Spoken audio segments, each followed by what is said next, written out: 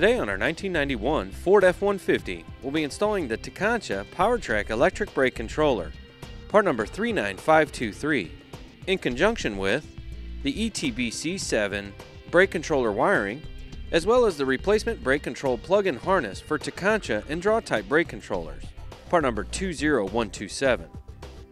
Now we'll begin our installation here at the rear bumper. We'll need to install the bracket to the rear bumper that will hold our 7-pole connector. We'll take the bracket and the hardware, put the bracket in place here in the pre-drilled holes, slide the bolt through, put the washers on the other side, and lock it down with the nut.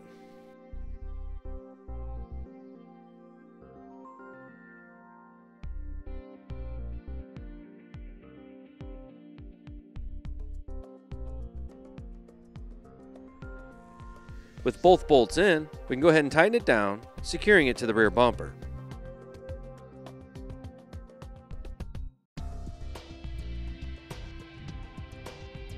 We're now ready to put the 7 pole into the bracket. We'll take our 7 pole connector and the hardware here, put the connector into place, making sure that the wires pass through the bracket. And with our connector in place, we'll pass the bolts through the connector, through the bracket, put the nut on the other side, and tighten them down.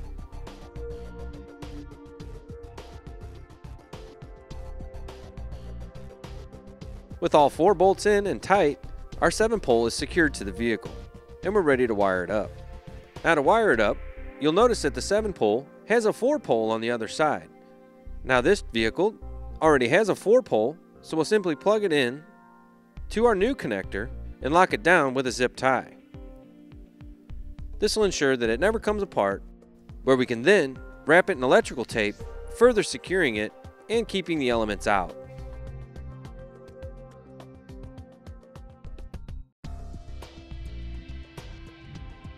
Now with that connection made, we'll go ahead and secure it back to our hitch here using a couple of zip ties.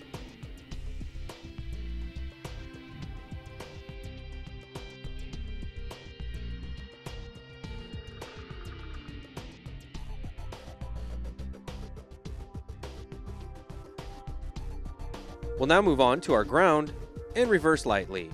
The white wire here with the ringed eyelet is our ground, and the purple wire with the yellow butt connector on it is our reverse light lead.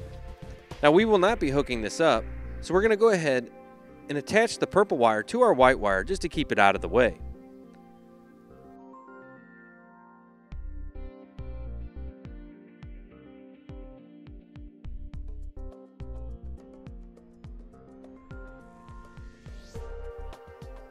With that done, we'll find a good grounding location and using a self-starting screw, we'll attach it here to the frame of the truck, giving us a good ground.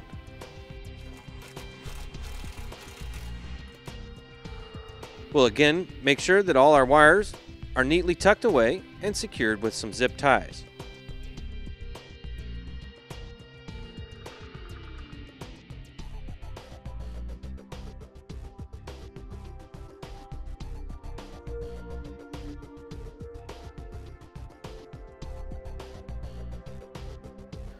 We're now ready to work on our brake control wiring.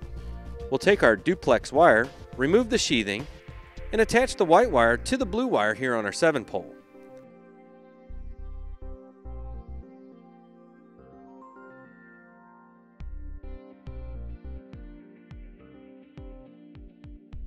We'll take the black wire and attach it to the black wire of our 7 pole.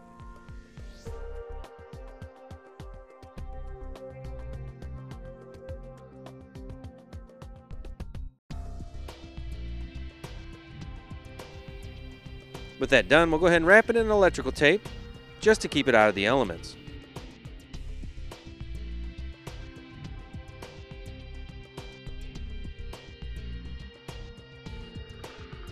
We can then secure it to the hitch and begin running our wire up to the front of the truck.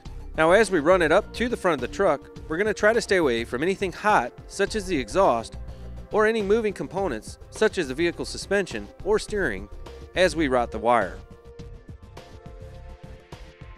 Now before we move back to the top side of the truck, we're going to take the included corrugated loom and wrap it around our 7-pole wiring just to give it a good look.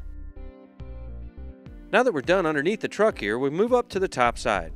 Now here in the engine compartment of the truck, we'll route our duplex wire up where we can now cut the majority of the sheathing left off of the wiring.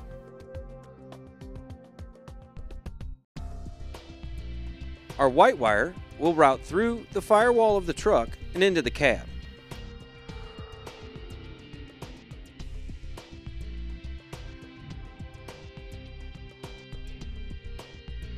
The black wire will continue up the firewall and around to our battery.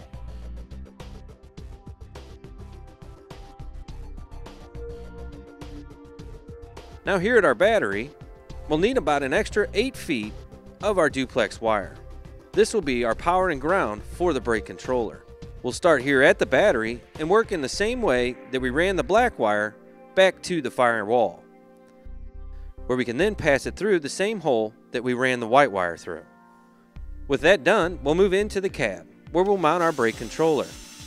We'll find a suitable location and using the self-starting screws, we'll attach the brake controller mounting bracket to the dash of the truck.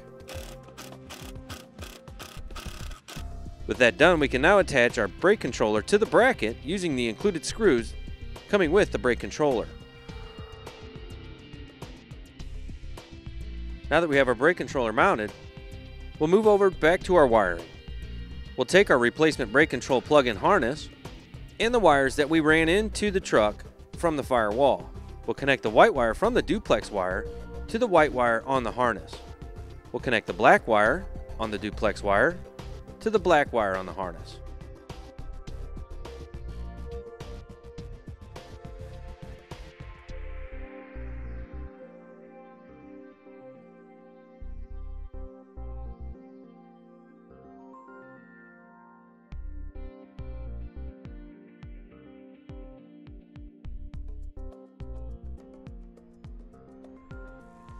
We'll take the white wire that was by itself coming through the firewall and connect it to the blue wire of our wire harness.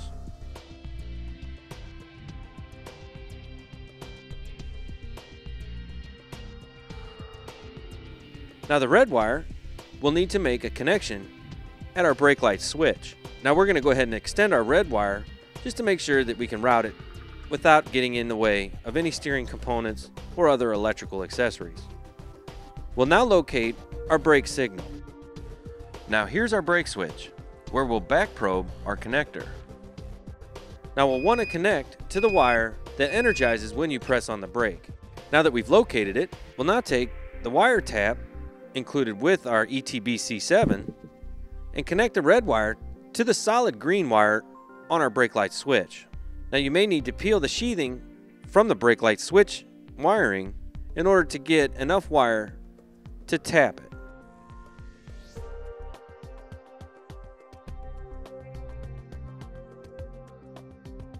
We'll now go ahead and plug the harness we just assembled into the brake control harness and secure it up underneath the dash.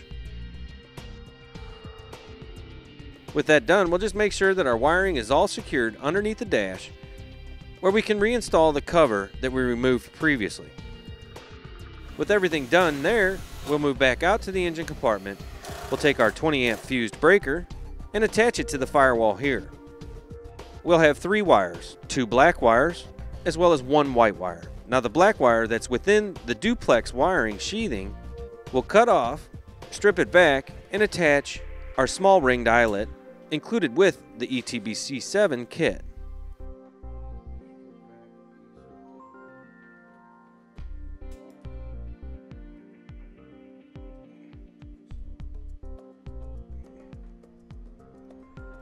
where we can then take the ringed eyelet and put it over the silver side of the breaker.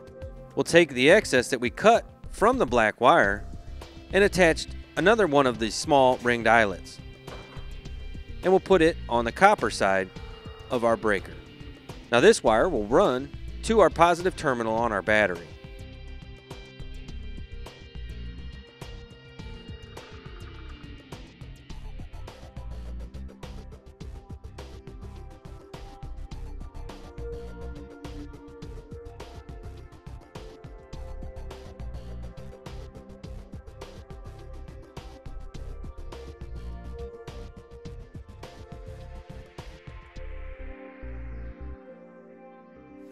We'll take the 40 amp breaker included with the ETBC7 and attach it to the side of the truck here. We'll now take the black wire that's by itself and attach a small ringed eyelet to it. With that done, we'll take the small ringed eyelet and attach it to the silver side of our breaker.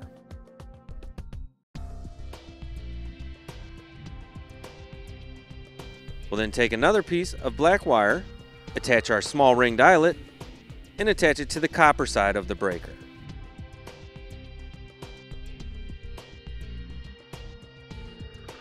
With both breakers in and all of our nuts tight, we'll attach the large ringed eyelets to the other side of both black wires where we can now make our connection to the positive side of our battery.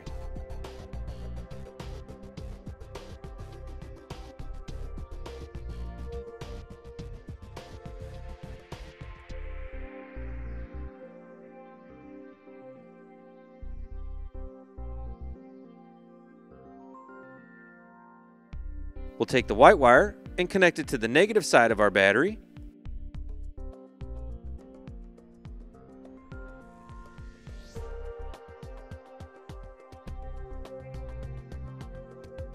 And with that done, our brake controller's in and we're ready to pull a trailer with brake. And that completes our installation of the Tekonsha PowerTrac electric brake controller, part number 39523, in conjunction with the ETBC7 trailer brake wiring harness, as well as the replacement brake control plug-in harness for Tekonsha and Draw-Tite brake controllers, part number 20127 on our 1991 Ford F-150.